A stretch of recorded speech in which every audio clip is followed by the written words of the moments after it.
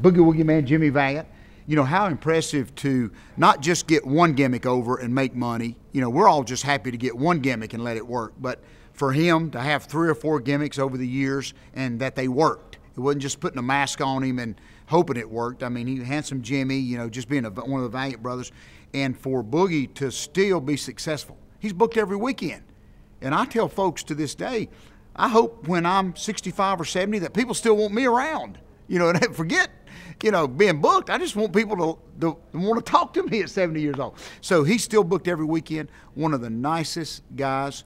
You know, when you what you see on TV is amazing when you first meet him because he's so quiet and laid back. Uh, one of the first TV matches I ever uh, wrestled was, of course, against him and Jerry Lawler when they were coming in from Memphis to Georgia Championship Wrestling. So we've had almost a 30, probably a 30 year friendship and still great friends to this day. Another one, I'll, I'll, mention that Bill Eadie, of course, the Masked Superstar. A lot of people don't know that he was one of the original Mongols, you know, back in the day. So he had that gimmick that he got over and, of course, become the Masked Superstar. And, of course, that part of our business I miss is just the mystique of that mask. You know, when I hear old timers that, like, you know, wrestling too, that wouldn't take his mask off, you know, you know, he'd go take a shower with the mask on. And, man, I love that. You know, Mil Mascaras, there was never a picture of him without his mask. And, you know, you go back to like, uh, uh, you know, used to be a guy named the Convict that wrestled, but he he had a dog that actually wore a mask. He'd come to the arena and his dog, he was so kayfabe, he, his dog had a mask on. Now, buddy, that's that's pretty cool right there, you know. And, and so those that those things now now, of course, you know, uh, in Mexico it's still very very strong, but I miss that. You know, Bill Eadie, of course, a lot of people know him as Demolition. Uh, and he made you know did so good with that. But to me, I can't even call him demolition. To me, uh, he's my superstar to me and that was just because I remember as uh, I believed in him so much. I tell him this to this day is, you know, he did an angle on TV where he cut Paul Jones's hair one time, beat him, and he took out an old pair of scissors, cut Paul's hair. Well, I wanted to be so much like Paul and him that I was just a young kid. I went and cut my hair. I mean, I, I, mean, I just took gabs out. And I look at Bill Eadie now, tell him that, and he looks at me like, kid, are you nuts? You know, but I was so into that mystique. And to be friends with him now, one of the, you know, there's a few boys, a few of the guys left that nobody you've ever heard nobody said nothing bad about.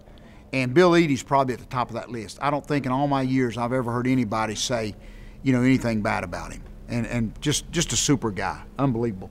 Another still me and him, I still love being in a ring with him. I probably, you know, Ricky Morton of the Rock and Roll Express. You know, uh, of course I love Robert too, but I probably wrestled Ricky in single matches more than uh, anybody else in this business, and still love it. I mean, still one of the top baby faces. You know, I, am in awe sometimes. I mean, I'll be in a ring with him, and that rock and roll chant gets going, and I. I forget sometimes that I'm, oh, I'm the bad guy here. You know, I got because I'm just marking out for that, you know, that chant and stuff like that, and still looks great. You know, and I tell you, uh, well, probably one of my favorite Ricky Morton stories is a couple weeks ago. We did a big outdoor show in Tarboro, North Carolina, and there was a lady there that had been a fan of Rock and Roll Express all of her life, and she's an older lady now, and she just wanted to meet Ricky Morton. And I was there in the back, and they brought her in the back to meet Ricky. And this lady, I mean, this grown woman, she's crying, she's a nervous wreck, she's shaking, and she just wanted to meet him. Of course, Ricky gives her a picture, a bandana, and she said, "You know, you were my Justin Bieber." I mean, that's what she told him. I thought that's the coolest thing I've ever heard. You know, Ricky's crying, I'm crying. I mean, it was just a special moment that she got to meet the Rock and Roll Express. And I got to live when you hear about the Undertaker pop and, you know, even Sting, the big reaction. Rock and roll at that time, you know, in the 80s was probably the hottest thing I've ever seen in my life. First time I ever met them, I worked them their first TV and Dusty said, You're working this new team called the Rock and Roll Express. And my exact words were, What the heck is a Rock and Roll Express? Because nobody never heard of music and all that. They'd just come from Bill Watts. And all Dusty said, he said, Just catch them. I said, Excuse me? He said, Just catch them. Whatever they do, just catch them. Bro, we got in that and I knew quick what he meant. Man, they were like everywhere, unbelievable. And still, uh, I love them together. You know, they, they work a lot of single matches, but uh, still very, uh, you know, just great friends to this day. Made a lot of money with Ricky Morton. You don't take it for granted. I mean, I still, even that that night, I mean, I'm in there and I'm looking around at these guys that I've all looked up to. I mean, I bugged Bill Eadie to death, and and of course Jimmy Valiant. You know, his feud with Paul Jones and all that. And I'm looking there and saying, man, I'm part of this. And it's funny because you hear of tag teams that like who's going to start, but I, I, there's no way I was going to let Bill Eadie start. I mean, I'm here. I walk. You know, I, I went and had a, a, a ring jacket made like Bill Eadie. You know, one of the Masked Superstars. with a big hood like he used to wear, and he looked at me and said, "Man, that's better than anything I've got." So for that moment, I didn't want to. It's one of those things you don't want it to end, you know, because you're having so much fun. And I look back and I just think of the experience that's in this ring right now, the years and the miles and the bumps and stuff. And I didn't want it to end. You know, they tell me you're going, you, you got 10, 15 minutes. I'm thinking, man, I'd have kept them out there for an hour.